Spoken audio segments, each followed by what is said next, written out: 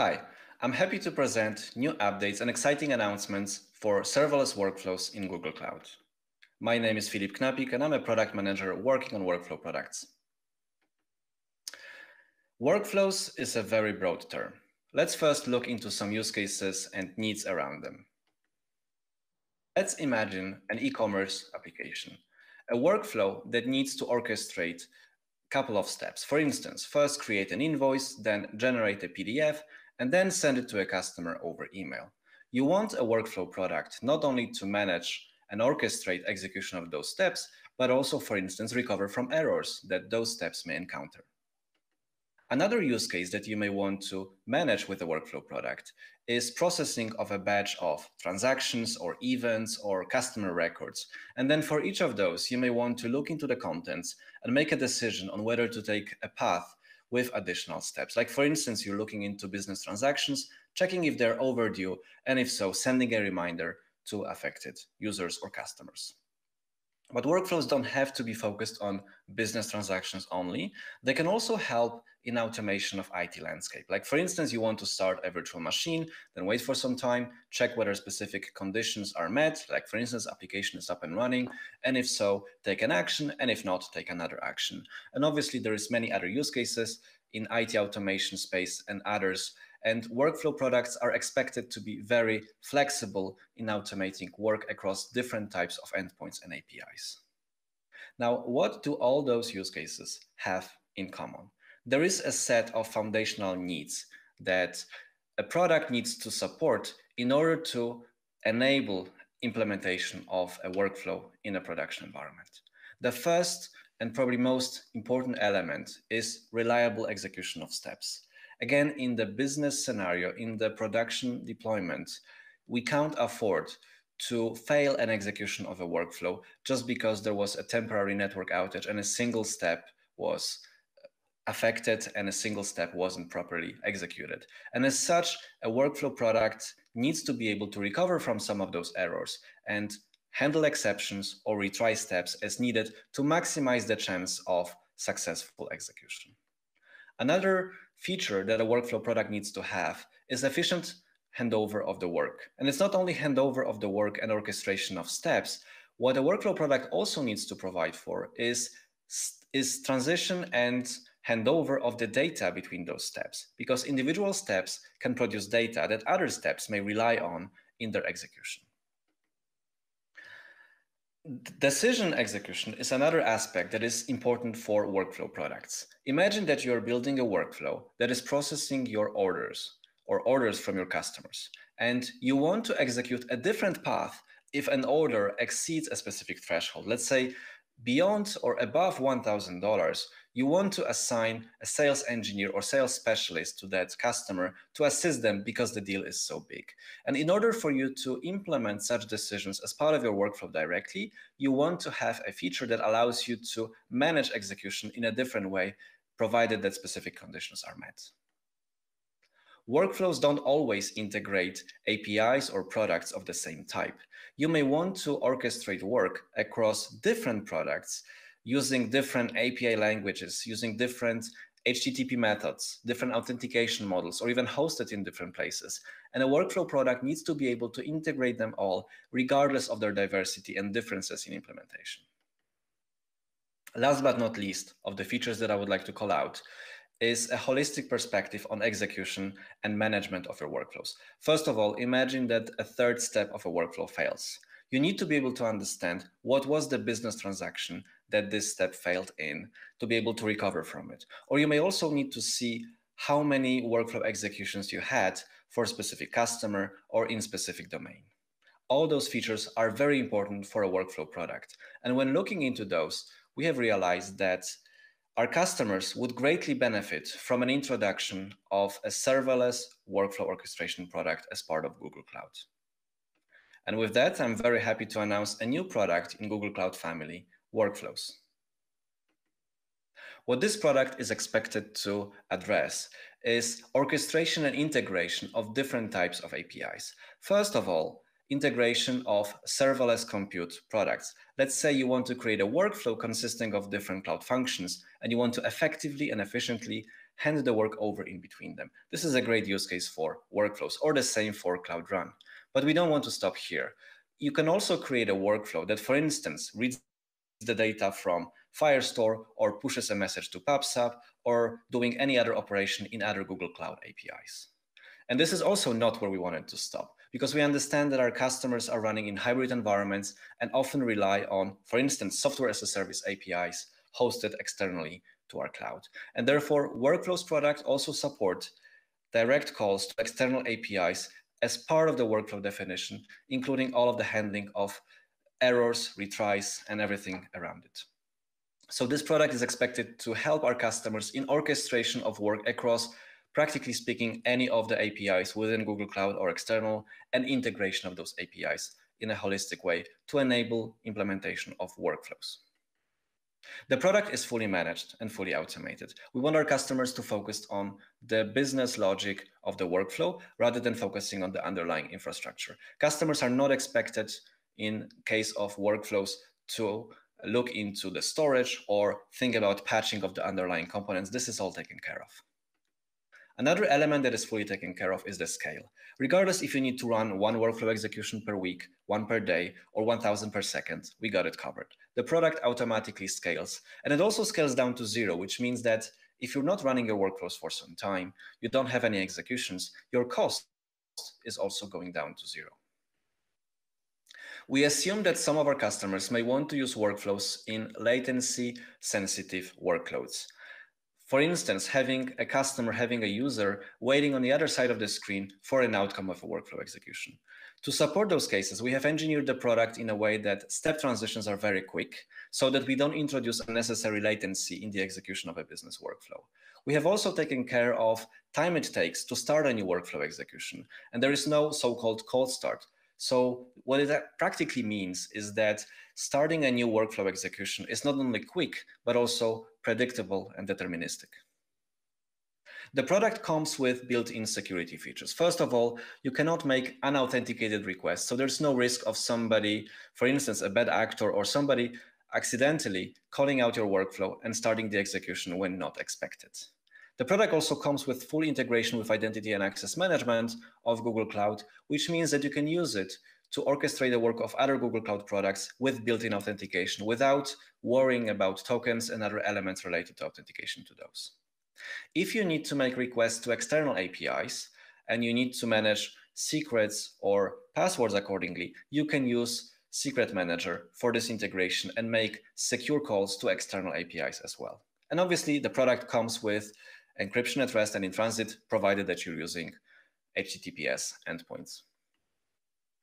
By now, you are probably wondering, how do I model a workflow? Can you show me an example of how to do this?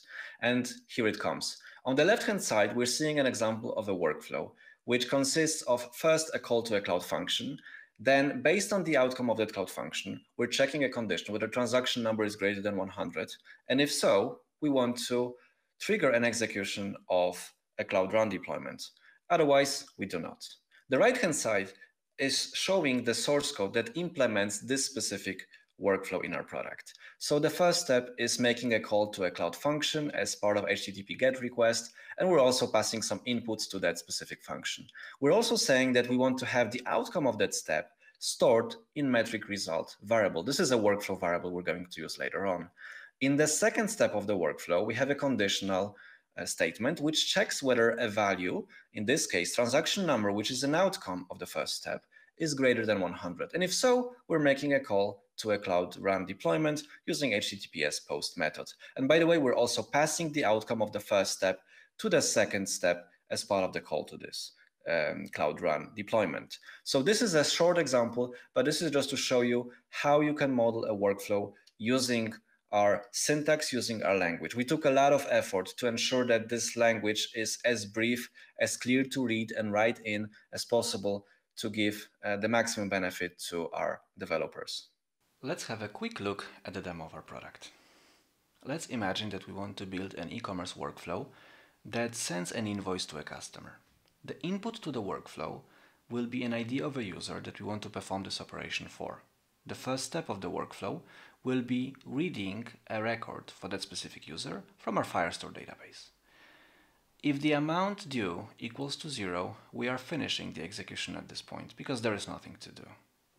Otherwise, we want to generate an invoice and send it over as an email.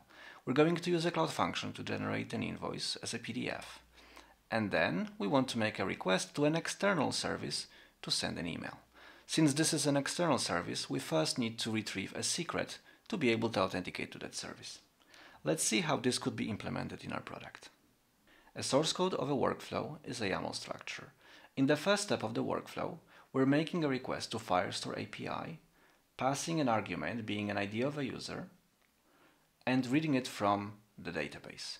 This obviously needs to be an authenticated request as otherwise Firestore wouldn't let us read anything and this is what these two lines of the workflow code do. Whatever the output is of that step is stored in a user record variable.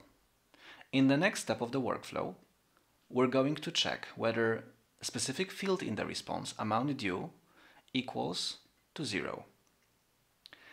Now, the response of the first step was a JSON string, and Workflow Engine is smart enough to convert that into a dictionary that we can use to validate whether the amount matches our expectations. If this condition is met, the workflow execution finishes with no amount due message. Otherwise, it proceeds to the next step being a function call using a post request to our PDF generator function. Again, this is an authenticated request because we don't want our function to be executed by anyone. And as a request body, we're also passing the contents that we want to have in our PDF so that our function knows what to generate. The output of that request is stored in a PDF output variable, which will actually be the contents of the PDF file that we want to use as an attachment.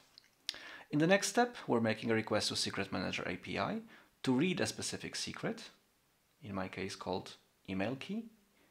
And then we're going to use that secret in the request to our email sending service.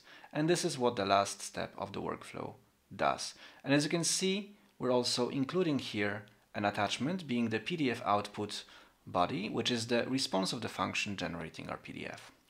And as the very last step of the workflow, we are responding with a message sending that the user was sent an invoice for a specific amount. So with that, let's test it out and let's see if it actually works.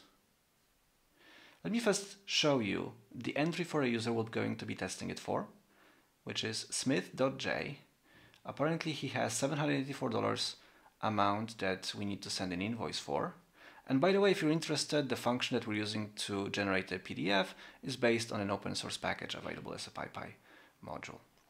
So let's now execute this workflow and see if it works. So as an input, I'm passing an ID of our user, smith.j, and I'm requesting an execution of the workflow. As you can see, execution state is active, but let's refresh and see if it's done. Apparently it is. So the output of the workflow is the user was sent an invoice for $784, which is what we expect because this is what we saw in the database. Now, I also happen to have an email account for that user.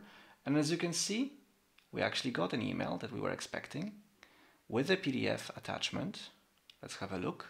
And the value matches our expectation because this is exactly what we saw in the database.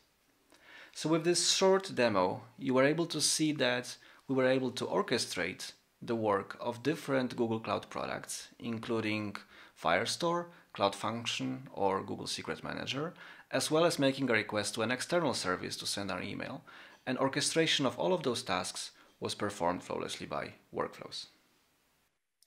Let's now have a look into the pricing model. First of all, we wanted to design a pricing model that follows the promise of serverless scalability, which means we want the cost of using the product to grow exactly as the usage grows. In other words, the moment you go down to zero because you have an idle period or you don't need to execute a workflow for whatever business reasons, we don't want to charge for this specific scenario. And therefore, the more you run your workflows, the higher, obviously, the cost will be following exactly your demand and following the growth of your business. We differentiate two types of steps in our pricing model. The pricing is based on number of executed steps in a workflow. Internal steps relate to all the elements you can call within the Google Cloud, like Cloud Functions or Cloud Run or internal variable assignments or expression evaluations within the Google uh, Cloud Workflow product itself.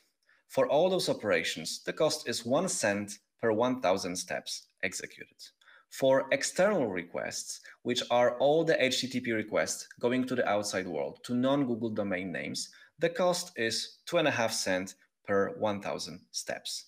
For both of those types of steps, there is a free tier. So if you just want to give it a try, you want to see what this product is capable of, or you're a hobbyist and you just want to try it out, uh, you can use a free tier and basically um, get experience uh, from using the product and then decide whether you want to move on with further implementations.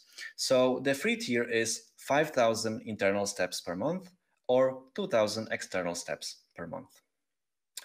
With this, I wanted to very warmly invite you all to our beta that is available right now to our product to start using it. Let us know your feedback. Let us know what features you like about this product, what features you don't like, or what features you feel like are missing or are preventing you from using this product to a bigger extent. We're very keen to listen and hear your feedback, and I'm looking forward to more interactions. We are also very committed to this product. We are going to launch it to general availability by the end of 2020. With this, I wanted to thank you very much for attention and wish you happy development of Google Cloud Workflows. Thank you very much.